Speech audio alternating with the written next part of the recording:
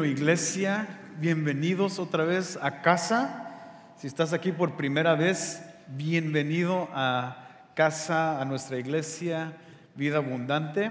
Hay que darle un aplauso a todos los que nos están visitando por primera vez. Qué padre que puedes pasar un tiempo con nosotros. Ah, y para los que están online, bienvenidos también. hay que darle un aplauso a los que están online, viendo fielmente. Un poco de celo nos debería dar porque tal vez están acostados con sus queques, panqueques o como le llamen y con su chocolate, pero pronto los queremos aquí, así es que vénganse rápido. Ah, qué bueno que podemos estar juntos alabando a Dios. Y hoy, hermanos, seguimos adelante en nuestro estudio del Juan. Me recordaron unos días antes que que iniciamos el libro de Juan al inicio del año y ya estamos por acabar el 2020 y parece que hemos llegado solamente a Juan capítulo 6. Pero otra vez, esto fue, yo les advertí de antemano que íbamos a pasar un buen tiempo estudiando el Evangelio de Juan, si es que no se enojen conmigo, pero es un libro muy importante que tenemos que escudriñar con todo lo que podamos y por eso estamos todavía en este apenas en el capítulo 6. Así es que abre tu Biblia en Juan capítulo 6. Y los versículos que estudiamos la semana pasada, vamos a enfocarnos en esos mismos versículos, pero ahora vamos a explorar algunas ah, implicaciones teológicas de estos breves versículos. Tienen muchas. Y es por eso que tenemos que explorarlo en más detalle, porque son palabras que nuestro mismo Señor Jesús nos da y nos advierte. Y hasta este momento ya nos hemos dado cuenta que ya no hemos estado hablando solamente del milagro que Jesús hizo en alimentar las multitudes, pero ahora estamos hablando ya de un tópico más importante ¿Qué es más importante que un milagro? El milagro de nuestra salvación. Lo que Jesús hace en salvar a las personas. Lo que Jesús hace en salvar a los pecadores.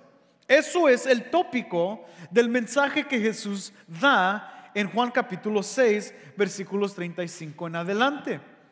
Esto es para nosotros buen, un buen momento de examinación que lo que Jesús quiere presentar y lo que Jesús realmente se quiere enfocar y la razón por cual Jesús está presente es porque hay una misión que cumplir. Y la misión incluye salvación de pecadores. Eso es el enfoque de la vida de Jesús. No es exclusiva a hacer milagros, alimentar a los pobres, a darle ropa, a sanar enfermos, a, bendecir con, regalos, a dar dinero. Ese no es su enfoque, no es su misión. Él vino para rescatar a pecadores. Él vino para salvar a pecadores. Y eso es la misión de Jesús. Por eso quiero que lo escuches con un oído afinado. Otra vez las palabras de nuestro Señor Jesús en Juan capítulo 6, versículo 35 en adelante. Jesús les dijo, yo soy el pan de la vida. Al que viene a mí no tendrá hambre y el que cree en mí nunca tendrá sed. Pero yo os dije que aunque me habéis visto, no creéis. Todo lo que el Padre me da vendrá a mí y al que viene a mí de ninguna modo lo echaré fuera. Porque he descendido del cielo no para hacer mi voluntad, sino la voluntad del que me envió. Y esta es la voluntad la voluntad del que me envió. Que todo lo que Él me ha dado yo no pierda nada, sino que lo resucite en el día final. Porque esta es la voluntad de mi Padre. Que todo aquel que ve al Hijo y cree en Él tenga vida eterna y yo mismo lo resucitaré en el día final. Ahora, al escuchar esto y al leer esto, vemos varias cosas ocurriendo a la misma vez, que es la voluntad del Padre, que es la voluntad del Hijo en cumplir la voluntad del Padre, que es la gente que, o quién es la gente que el Padre le da al Hijo. Eh, el Hijo está hablando en este caso de resucitar a aquellos que se les entrega en el día final. ¿A qué se refiere? Ese día final o qué es de lo que está hablando Jesús? ¿De qué es este aspecto de vida eterna que Jesús está prometiendo? Y otra vez, ¿por qué Jesús se menciona como el pan de la vida? Todo esto tiene la raíz en la salvación en que Cristo cumple la voluntad del Padre en rescatar y salvar a aquellos que el Padre le da. Y por eso hay un gran énfasis en el día final. Lo menciona dos veces en el versículo 39 y en el versículo 40. El día final de juicio.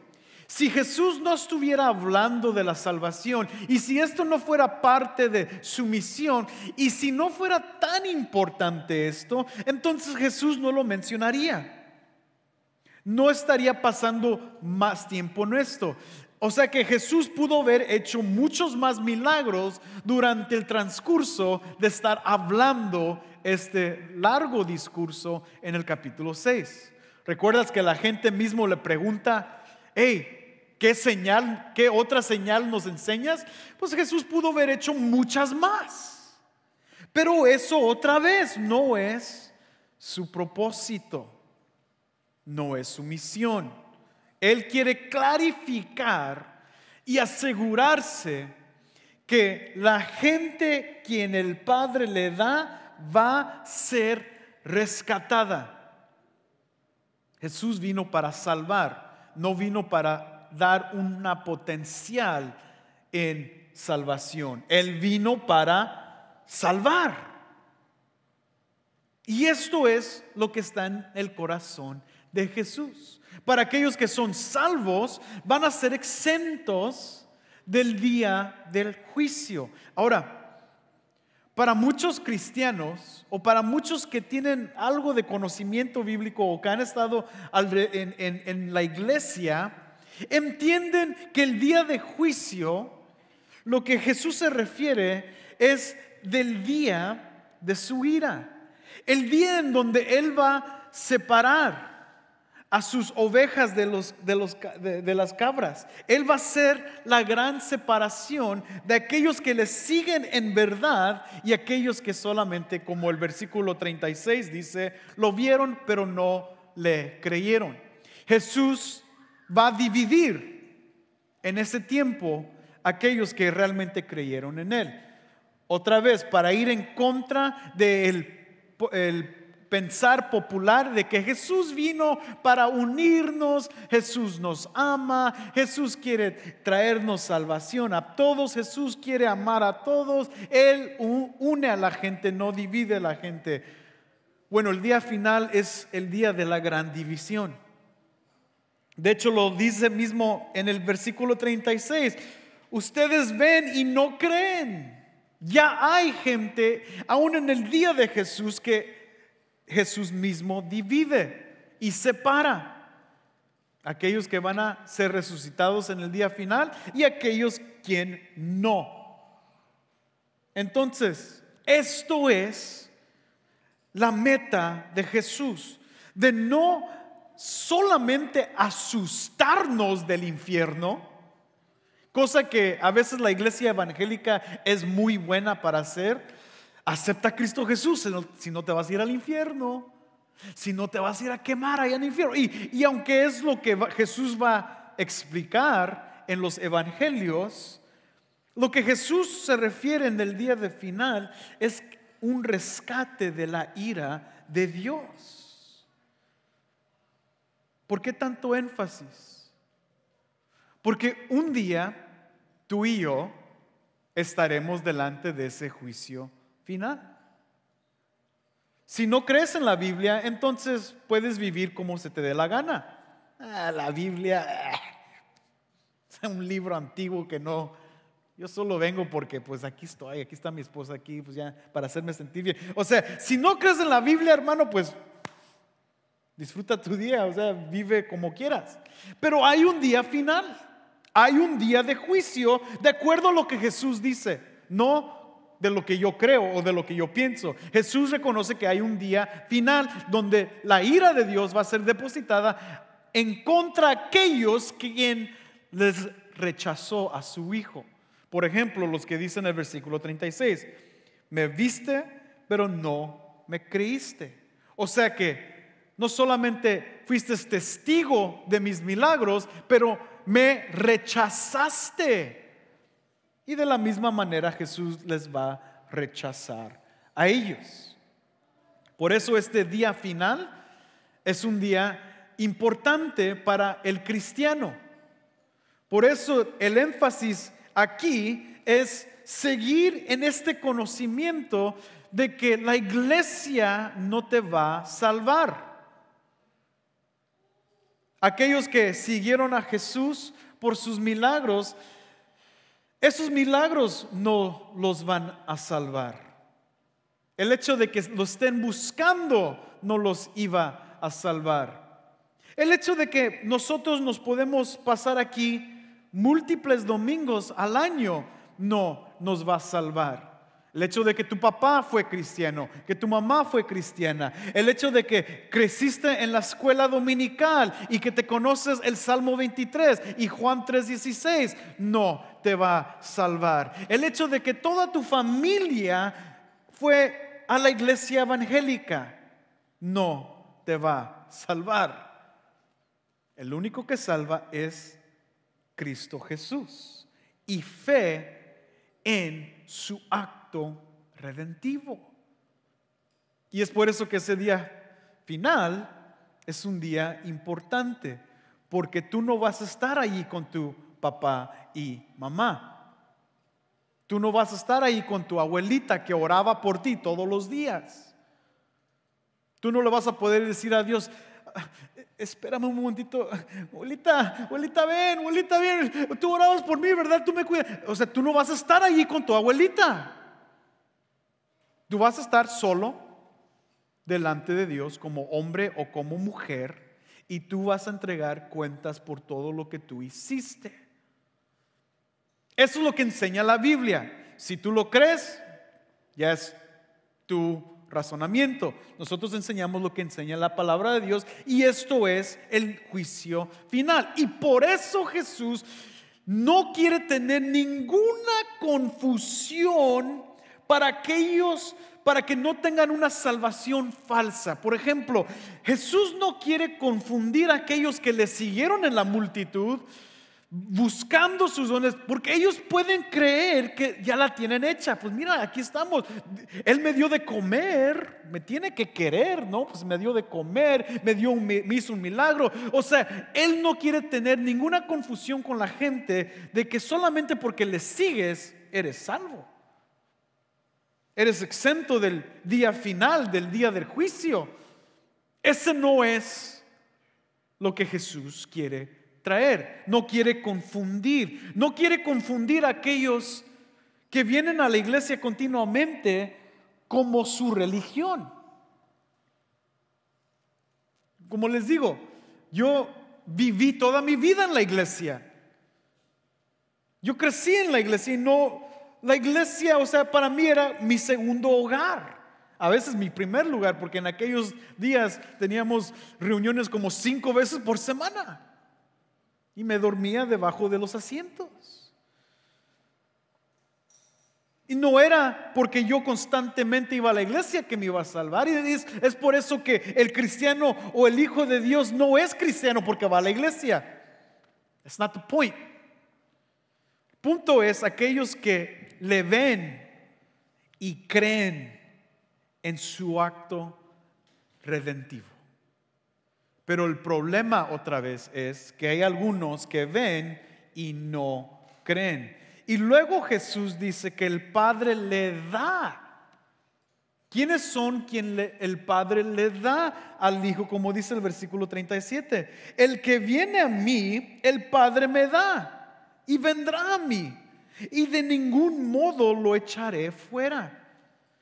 Y luego dice en el versículo 38, porque he descendido del cielo no para hacer mi voluntad, sino la voluntad del que me envió. O sea que el Padre le entrega al Hijo aquellos que van a ser salvos. La pregunta es, ¿quiénes son? Y es por eso que hoy vamos a estar explorando algunos temas o implicaciones teológicas de este pasaje. Precisamente porque habla de la salvación. Y vamos a estar explorando varios de estas implicaciones teológicas, no otra vez para ensanchar nuestra mente, sino para ver la grandeza de Dios en su acto redentivo, en cómo Él salva a las personas. Y cuatro implicaciones teológicas vamos a estar estudiando. Hoy solamente vamos a alcanzar a explorar una de ellas. Entonces ya sabes que vamos a estar en este pasaje mínimo dos, tres domingos más. Pero es muy importante para mí que nosotros podamos entender cómo Dios salva a la gente, para que así en nuestra iglesia no tengamos un falso sentido de salvación. Un falso sentido de que yo fui presentado en la iglesia, entonces yo soy salvo. tengo las fotos de cuando me presentaron. Me vistieron de charro y me presentaron, o sea, me vistieron con una, algo bonito. No es el motivo o cómo uno es salvo. La iglesia no salva a nadie. Cristo es Él quien trae salvación. Ahora, vamos a estar explorando estos temas teológicos que han sido debatidos por muchos años. Sin embargo, la palabra de Dios nos los presenta y cuando los exploramos, nos damos cuenta que aquellos que resisten lo que la palabra de Dios enseña, intentan a manipular cómo quieren que Dios funcione. Y por eso los debates han crecido desde el inicio del tiempo. De hecho, ustedes lo estudiamos juntos desde el primer siglo con Cristo. Todos estaban confundidos con quién Cristo era. Por eso les preguntaban, ¿y quién eres tú? ¿Y quién eres tú? Y por eso Cristo les pregunta, como mencionamos la semana pasada, les pregunta a sus discípulos, ¿y quién dicen que soy ustedes? ¿Ustedes quién dicen que soy? Porque el debate de cristología ha existido desde que Cristo entró al mundo. Esto trajo mucha confusión a las personas. Si Cristo vino a salvar, ¿a quién vino a salvar? Y si Él vino a salvar, ¿de qué nos iba a salvar? ¿Y acaso necesitábamos ser salvos? El hecho de que estamos en la iglesia nos da un poco de entendimiento. La iglesia es para aquellos que han sido redimidos. Eso es la iglesia. Entonces hemos entendido que somos redimidos. What are we redeemed from? ¿De qué hemos sido redimidos? Es por eso que venimos a la iglesia. Because we've been redeemed porque hemos sido redimidos. Aquellos que no lo entienden, vienen a la iglesia porque la iglesia de una manera u otra puede proveerles ciertos beneficios, ¿no? Es cuando encontramos que gente va a la iglesia porque piensan que la iglesia les sirve como un aspecto beneficial. O es que allí aprendo cómo ser o cómo vivir de una manera motivada. Oh, es que ahí aprendo en cómo funcionar en la justicia social. Es que allí les damos de alimento a los pobres y hacemos esto y hacemos lo otro. Tenemos muchas actividades. Es que ahí siento que soy parte de algo que está cambiando el mundo. Bueno, la iglesia nunca va a cambiar el mundo. Cristo es el que puede cambiar el mundo. Y Cristo promete transformar el mundo. Entonces, la iglesia, cuando vemos en sí, la redención es un aspecto teológico muy distante que no queremos explorar. La iglesia se convierte en un centro donde podemos venir como aquellos visitando la Costco. Oh, eso está bueno. Oh, me gusta esto. Oh, me gusta el otro. Oh, that's on sale. Eso también, y, es un aspecto más comerciante. Pero Cristo no vino para darnos un mejor casco. Cristo vino para salvarnos y para que la iglesia reconozca que ha sido redimida por la sangre de Cristo Jesús. Por eso el primer aspecto teológico que vamos a hablar es algo devastante para muchos, pero tan bello para aquellos que lo entienden y que reconocen lo que Jesús y el Padre hizo por ellos. Primer implicación teológica que vamos a explorar, y no en una orden particular, sin embargo, de, cómo lo vemos presentado en estos versículos, el primer aspecto habla de la elección. Punto número uno elección. Dios elige a los verdaderos discípulos, quien van a ser entregados a Jesús. En este caso Jesús dice, todo lo que el Padre me da vendrá a mí. Este concepto lo encontramos en Primera de Pedro, capítulo 2, versículos 8 y 9. El final del versículo 8 dice, ellos tropiezan porque desobedecen la palabra, como estaban destinados a hacer.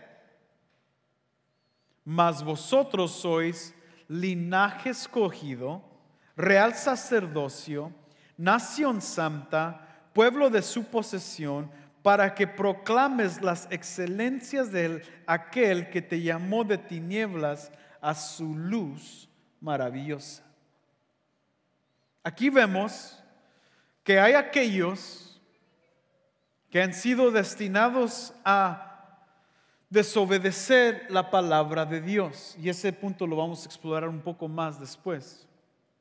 Y hay aquellos que han sido escogidos como un real sacerdocio, como una nación santa y como un pueblo de acuerdo a su posesión no solamente para quedarse en su asiento cómodo cristiano espiritual, pero para proclamar las excelencias de aquel que los llamó de tinieblas a luz. O sea que tu llamado como cristiano no es para que solamente te sientas bien, sino para ponerte a trabajar. Sin embargo, vemos que hay un concepto de elección, cosa que para muchos no nos hace sentir bien ese concepto. Y ahorita lo vamos a explorar, en detalle. ¿Qué significa elección? ¿Y por qué lo estamos enfatizando hoy? Bueno, si regresamos a este pasaje, lo vemos varias veces en el versículo 35, en el versículo 37 y lo resume en el versículo 40. Dios elige a quien les va a entregar al Hijo. ¿Qué significa? Que Dios, desde antes del fundamento del mundo, escogió a quienes iba a salvar. ¿Pudo haber escogido a todos? ¿O pudo haber escogido a nadie? Pero la Biblia nos enseña en este pasaje que Dios sí escogió aquellos quien iba a salvar. Los escoge a estos pecadores no por un acto en ellos impresionante o porque eran más inteligentes o porque eran americanos o porque eran mexicanos o porque eran ricos o porque eran ah, de, de alta sociedad o porque se graduaron de la Harvard. No los escoge por ningún mérito en ellos mismos. La lección no es determinada por una razón en la persona, sino es un resultado de los propósitos misericordiosos de Dios. Por consecuencia, hay aquellos que no son escogidos, que Dios pasa por encima de ellos y son abandonados a sus deseos pecaminosos no nos corresponde a nosotros, humanos, cuestionar por qué Dios no escoge a todos, sino saber que el juicio de Dios es santo y justo. Los miércoles hemos estado hablando de los atributos de Dios. Hemos pasado mucho tiempo en los atributos de Dios. Y claro, elección nos incomoda. ¿Cómo Dios escoge a algunos y, no a otros? What? ¿Que no Dios ama a todo el mundo? Y eso a veces nos da incomodidad, choca con nuestra teología de quién creemos quién Dios es o qué debe hacer Dios de acuerdo a lo que nosotros pensamos. Pero lo que hemos estado aprendiendo en, nuestras noches de atributos de Dios es que nosotros no manipulamos a Dios conforme a la mascota que queremos que Él sea. No lo podemos domesticar, ¿no? Siéntate. Give me paw. Sit up, down, roll over. No podemos hacer eso con Dios.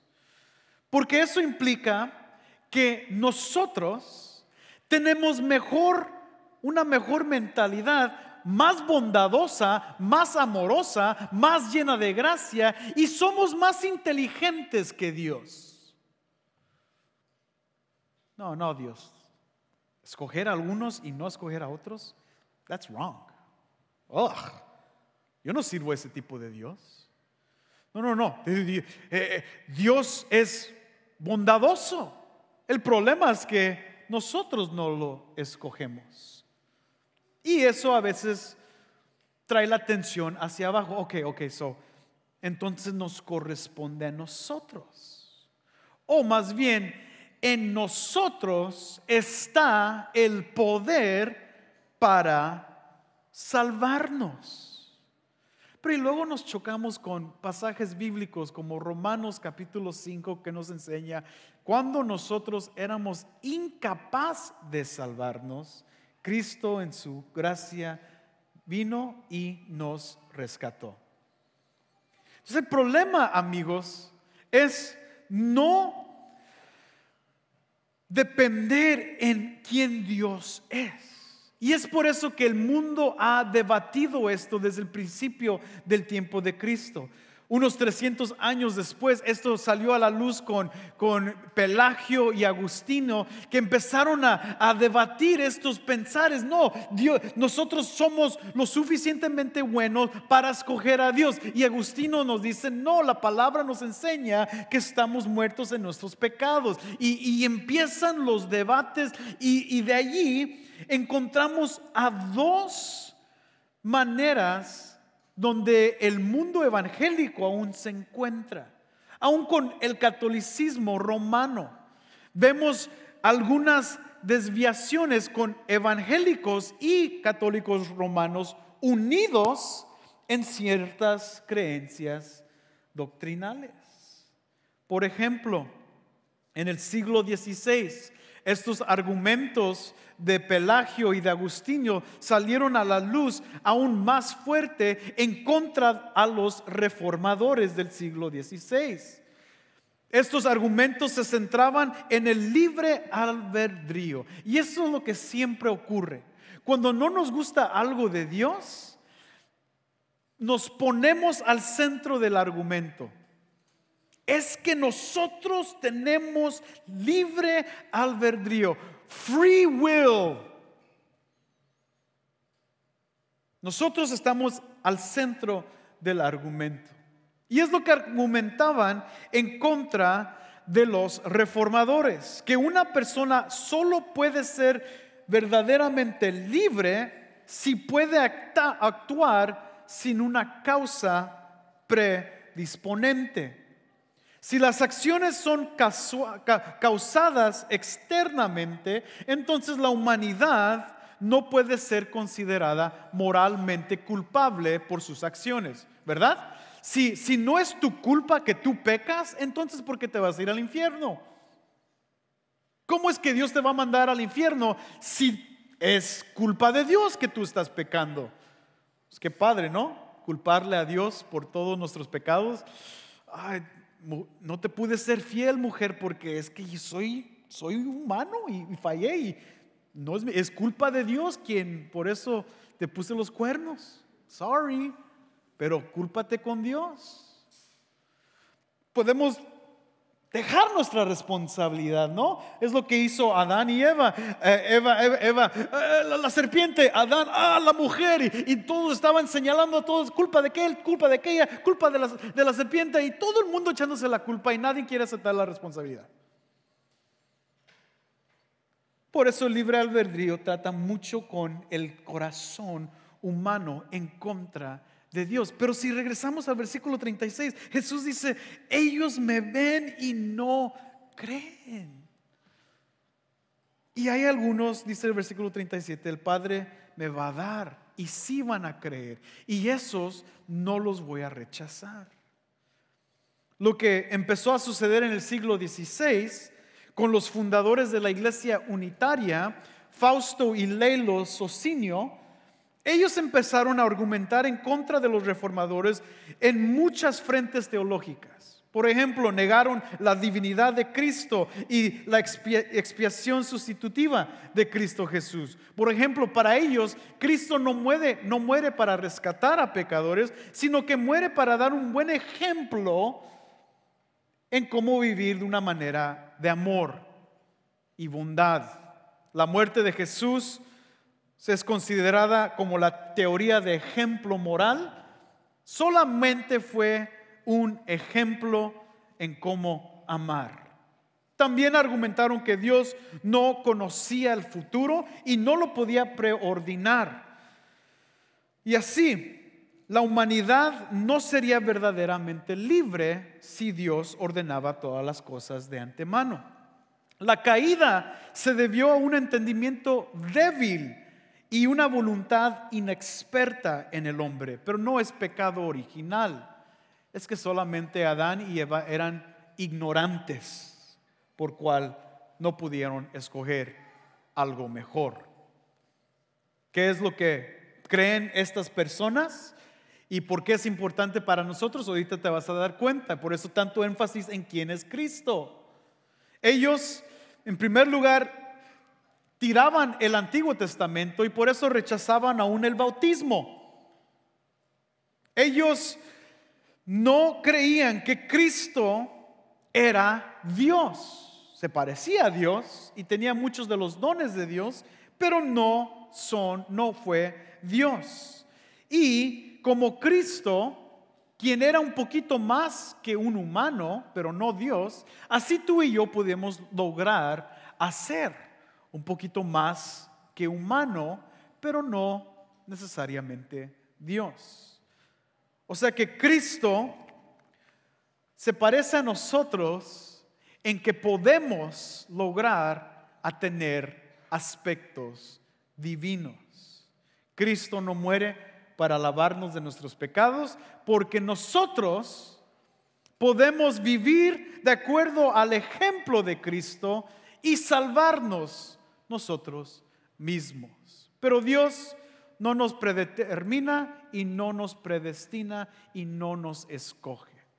Entonces los resultados en este siglo XVI hay muchos. Tres de ellos tres pensares resultan en el, en el siglo XVI. El primero es el, el del reformador, ¿no? junto con Lutero y con Calvino, el calvinismo que utiliza pasajes como Romanos capítulo 8 y capítulo 9 para hablar acerca de la predestinación y que Dios predestinó a todos para salvación y los conoce de antemano. Uno Jacobo Arminio, que estaba entre medio de calvinismo y las otras áreas, quiso mantener la soberanía de Dios del calvinismo, pero dejó que Dios no podía preordinar o predestinar a nadie. Solamente Dios conocía a quienes iban a ser salvar o quienes iban a elegir la salvación y a ellos predestinó porque Dios tuvo que ver el futuro. Y les da gracia para poder llegar y aceptar a Cristo. Y los socinios, pues obviamente Dios no conoce el futuro, Dios no preordena nada. Nosotros, la humanidad, es verdaderamente libre para ser salvos. Ahora, ¿por qué les di una breve lección histórica? No para ponerlos a dormir, pero para que puedan entender que estos argumentos no mueren en la historia. Siguen adelante. Por ejemplo, muchas de las fuentes arminianas se encuentran en, nuestras iglesias católicas ah, y católicas y también carismáticas. Mucho del movimiento metodista y wesleyan utilizan este tipo de pensar. Los socinios son los fundadores de las iglesias unitarias que todavía vemos constantemente aún en Chicago. Esto lo que va, lo que, lo que quiero darles saber y por lo cual hemos estado enfatizando esto es que Dios es el quien salva a través de Cristo Jesús. Y nosotros deberíamos de vivir de una manera confiada en que Cristo salva, porque si Cristo es el que me salva, Cristo es el que me, va a mantener vivo hasta que Él regresa. Por ejemplo, ya para cerrar con esto, Éxodo capítulo 33, versículo 19 nos enseña, yo haré pasar toda mi bondad delante de ti, proclamaré el nombre del Señor delante de ti y tendré misericordia del que tendré misericordia y tendré compasión de quien tendré compasión. Cosa que Pablo repite en Romanos capítulo 9. Y luego en Mateo capítulo 22 Jesús dice una frase muy interesante. Muchos son llamados, pero pocos los escogidos. Romanos capítulo 9, Pablo dice en el versículo 16, así que no depende del que quiere ni del que corre, sino de Dios que tiene misericordia. Lo que estamos argumentando aquí no es que debes de creer o que no debes de creer. Lo que estamos argumentando aquí es que tú eres salvo por la pura misericordia de Dios. No es que proveíste algo para que Dios te salvara. Dios tuvo misericordia de ti y te amó tal y como eras y eres. Pablo luego, luego repite en segunda de Timoteo capítulo 1 versículo 9 quien nos ha salvado y nos ha llamado con un llamamiento santo, no según nuestras obras. ¿Escuchaste? No es algo que tú hiciste. Es que yo fui inteligente. Es que yo me sacaba puros dieces. Es que yo fui a la universidad. Y lógicamente vi vivir separado de Cristo y vivir en el mundo. Ah, acá mucha tentación, muchas cosas pueden pasar mal, pero aquí lógicamente Cristo sí vale la pena. Entonces yo fui suficientemente sabio para escoger a Cristo. Pablo dice, no según nuestras obras, sino según su propósito y según la gracia que nos fue dada en Cristo desde la eternidad. Somos salvos por la misericordia y la gracia de Dios. Iglesia, tu salvación descansa en que Dios te escogió. ¿Por qué te escogió? Sepa. ¿Por qué me escogió a mí? I have no idea. Lo único que vemos es que hay gracia para pecadores. Y esa gracia nos conmueve para salvación. Y esa es la gracia que adoramos como iglesia todos los domingos y todos los días de nuestra vida, en que Dios es gracia, misericordia y amor. Y por eso le podemos adorar. Amén. Ponte de pie y vamos a cerrar con una bendición.